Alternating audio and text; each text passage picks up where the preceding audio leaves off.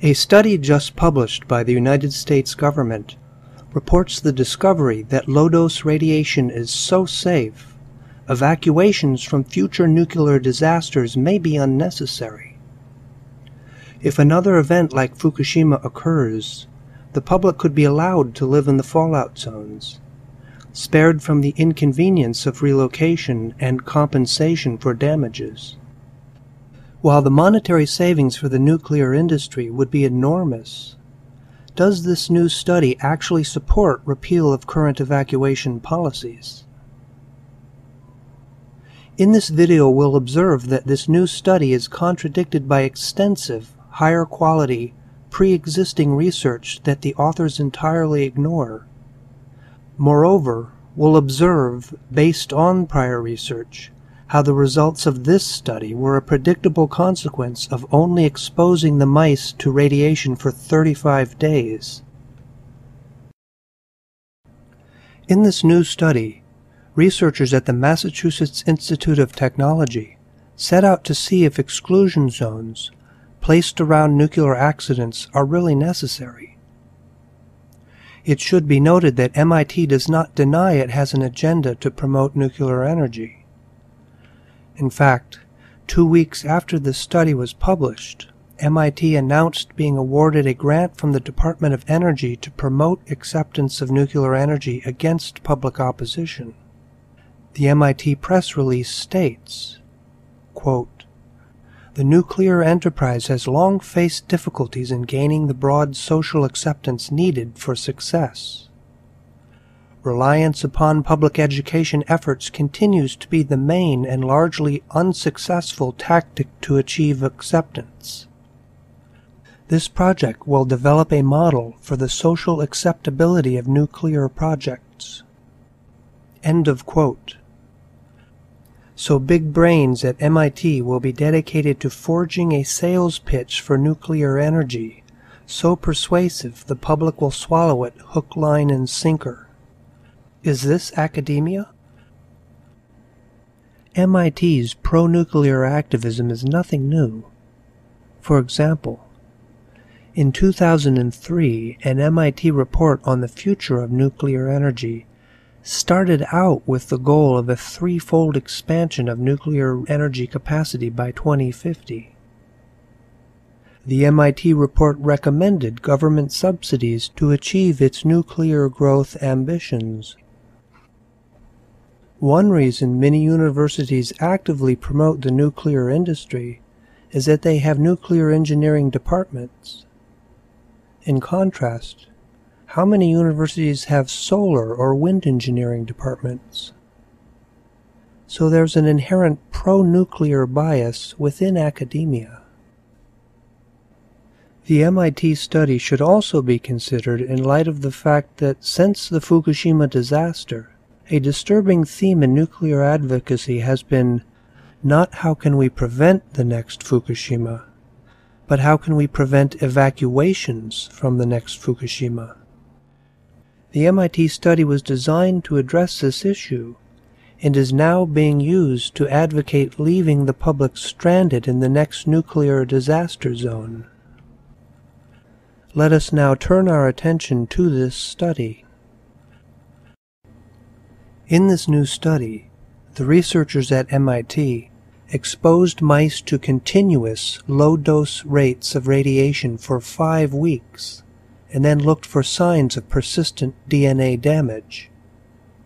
The researchers used continuous dosing because it's a better model of living in a fallout contaminated area than a sudden acute dose of radiation. The researchers felt that radiation exposure for five weeks, that's just 35 days, was a reasonable model of indefinite exposure. In fact, when asked if five weeks were sufficient, one of the researchers confidently predicted, quote, You could probably leave the mice there indefinitely and the damage wouldn't be significant. End of quote. However, even as she said that, her prediction of perpetual safety had already been tested and failed. Research by Tanaka and colleagues, published in 2009, exposed mice to continuous radiation at an even lower dose rate than the MIT study. In fact, Tanaka and colleagues used just one third the dose rate, 1 versus 3 milligrays per day. And while the MIT researchers exposed their mice to radiation for just 35 days, Tanaka and colleagues exposed their mice continuously for almost two years. Here's a graph of chromosomal aberrations in Tanaka's mice. Each square represents a mouse exposed to 1 milligray per day. Along the right-hand y-axis are its rate of chromosome aberrations per 100 cells. Chromosomal aberrations are DNA strands that were broken and repaired, but the repair was flawed, resulting in a persistently deformed DNA strand. While everyone has some accumulation of chromosomal aberrations from normal living conditions, scientists consider them to be biomarkers of cancer risk. Returning our attention to the earlier study from 2009 by Tanaka and colleagues, along the bottom x-axis of the chromosomal aberration graph, we find the cumulative dose each mouse received. And because the dose rate is 1 milligray per day, the x-axis also counts days of exposure. As we can see, the trend of aberrations increases over time, However, this trend isn't necessarily remarkable, since aberrations naturally increase with age, and 600 days is most of a mouse's lifetime. What makes this upward inclination significant is its difference from the trend of the control population of mice, which we now include. As we can see, the upward slope of the exposed mice is much steeper, and in fact, the difference is statistically significant. Tanaka and colleagues used three measures of chromosomal aberrations for the 1 milligray per day dose group, and each found a statistically significant difference from the control mice. So why did Tanaka and colleagues find a significant dose response at a lower dose rate a likely answer is that the null results the MIT authors reported could have been predicted from the previously published findings of Tanaka and colleagues. Here we overlay the cumulative dose that the MIT mice received onto the full scale of Tanaka's study. Looking only at the mouse data near the MIT study range, shows no perceptible difference between exposed and control mice within this narrow range. According to a scientist whom I consulted, given the increase of genetic damage Tanaka found, in order to detect a significant effect in the green highlighted region, over half a million cells would need to be examined. Far more than Tanaka and colleagues examined, and far more than is feasible with the small number of mice MIT used. And so the MIT study's finding of no effect was a predictable consequence of the study's extremely limited design. Moreover, the MIT author's confident prediction that unlimited exposure to radiation 400 times higher than normal would be harmless had already failed in a study using a dose three times less. What is even more troubling is that not only had there already been lab animal research from which to predict nuclear accident genotoxicity, but there has also been research on chromosomal aberrations in human beings exposed to the Chernobyl disaster. What better model of humans in a nuclear disaster zone could there be than humans in a nuclear disaster zone? To get a sense of the extent of research into genetic damage associated with the Chernobyl disaster, here's a Google search on the terms Chernobyl chromosomal aberrations. Notice that we get an automatic link on top to scholarly articles. This means these terms call up an unusually large amount of peer-reviewed scholarly research. As we scroll down, we can see the returns are almost all to science journals, reporting increased chromosomal aberrations. Yet the MIT study fails to acknowledge the existence of any pre-existing research on human genetic damage associated with nuclear disasters. Why should human research be excluded when considering, as the MIT authors explicitly do, abolishing current public protection standards? When confronted with a large body of research on a particular topic as we are here, meta-analyses or systematic reviews are useful points of reference. Fucic and colleagues conducted such a meta-analysis of chromosomal aberrations in children exposed to radiation. They reported, quote, the main sources of knowledge on gene damage in children exposed to radiation are studies performed after the Chernobyl nuclear power plant accident in 1986. Overall, the evidence from the studies conducted following the Chernobyl accident, nuclear tests, environmental radiation pollution, and indoor accidental contamination reveals consistently increased chromosome aberration and micronuclei frequency in exposed than in referent children. End of quote. As Fucic and colleagues state, Chernobyl research uniformly shows elevated chromosomal aberrations, and even in spite of the fact that evacuations were enforced.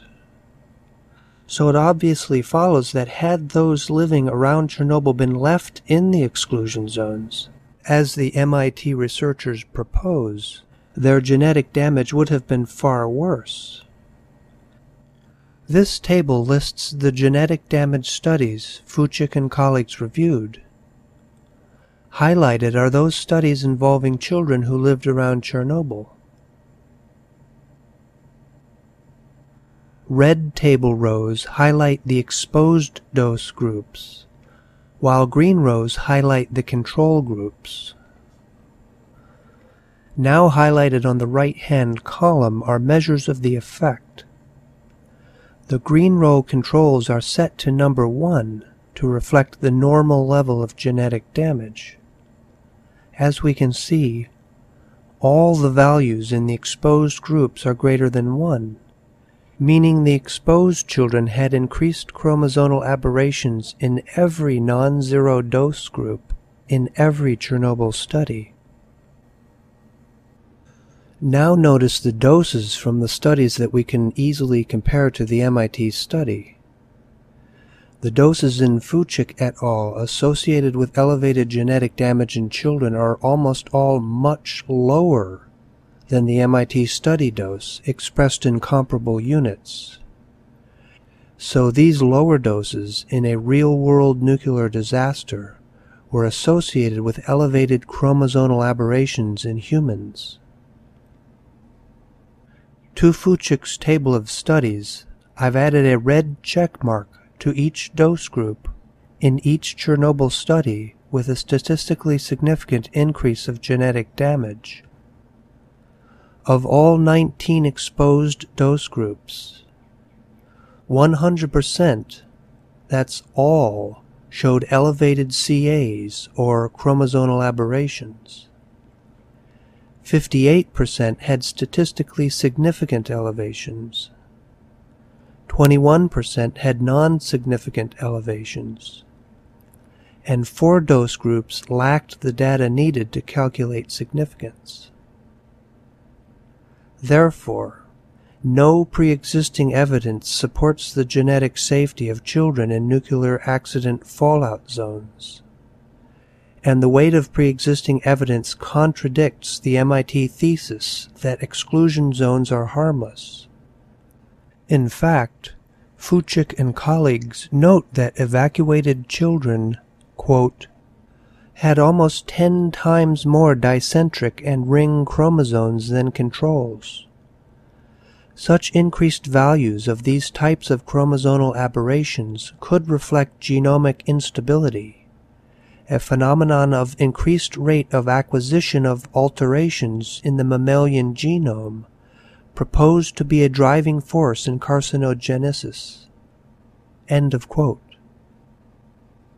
This meta-analysis of Chernobyl-induced genetic damage in children merely scratches the surface of an extensive body of literature consistently demonstrating Chernobyl-induced genetic damage in people of all ages. Why was this evidence excluded from the MIT study, when the stated purpose of the MIT study was to consider the potential for nuclear accidents to cause genetic damage? MIT's presentation of its study as the first ever examination of the genetic risk of living in a nuclear disaster zone is pure science fiction, not fact. In closing, let's observe a real-world example of the level of radiation the MIT researchers suggest is safe for the public. The dose used in the MIT study would be measured on a Geiger counter at around 120 microsieverts per hour. Here we see a Geiger counter within sight of the destroyed Fukushima Daiichi nuclear power plant. Near the ground, the dose rises close to 120 microsieverts per hour.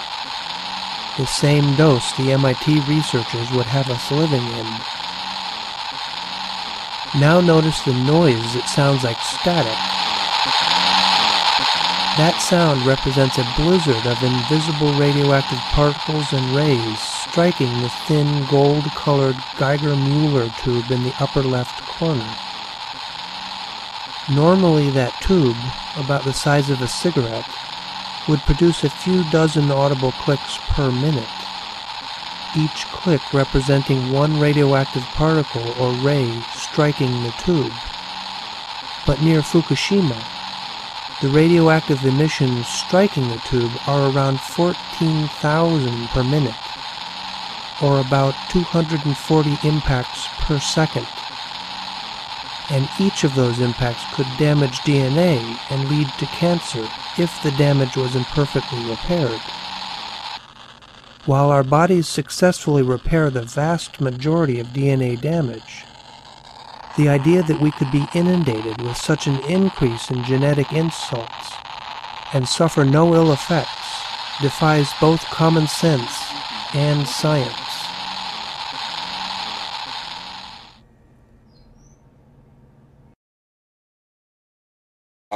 We need to get subscribed and get this unity stronger and beat YouTube at their own game. Okay, that's what this is about. Like I say, go to the remix button, hit the remix button. That way you'll have this video and, and keep up with this. Otherwise, you know, YouTube's just going to control us, guys, and it's, it's really bad.